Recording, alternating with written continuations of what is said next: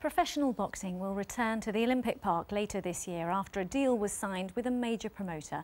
The Copper Box, which was the venue for handball during the Games, will become a new home for top-class boxing in East London.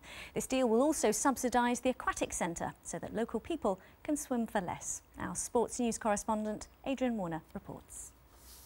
In London's Albert Hall, the Army's boxing stars held their championships. Boxing has had a few homes in London over the years, the Albert Hall here in the 1940s and Wembley's indoor arena. But this is the sport's new home in the capital, the Copper Box. During the Olympics it hosted handball and in September it will stage its first British title fight between middleweights Billy Joe Saunders from Hatfield and Islington's John Ryder.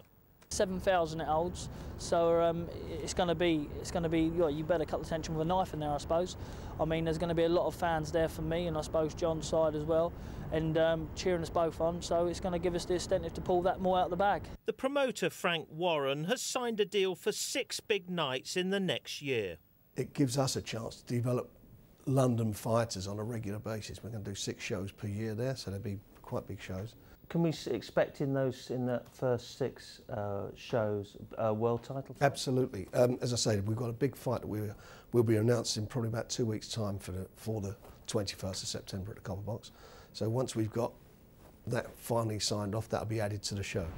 Now, of course, East London already has a traditional home for boxing, York Hall here in Bethnal Green. It's been around since the 1920s, but it's much smaller than the Copper Box.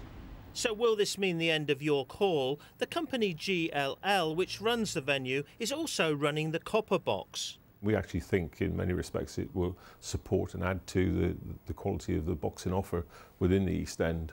The profits from the Copper Box will subsidise cheap swimming at the Aquatic Centre. So the hope is that big nights will play a role in finding future Olympic swimmers and divers as well as boxers. Adrian Warner, BBC London News.